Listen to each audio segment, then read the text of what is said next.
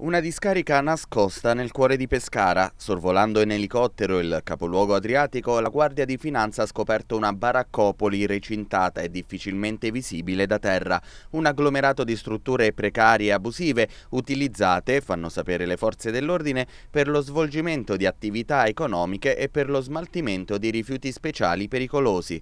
Dalle immagini sembrerebbe un magazzino o un'officina. Intorno però è disseminata immondizia di ogni tipo che potrebbe mettere a rischio la salubrità della zona.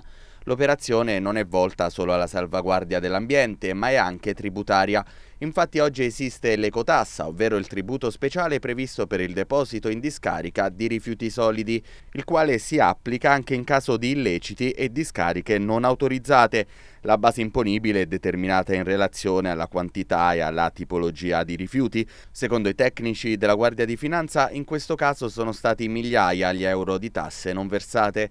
L'area di circa 1000 metri quadri è stata sottoposta a sequestro e tre soggetti sono stati deferiti all'autorità giudiziaria per violazione delle norme ambientali.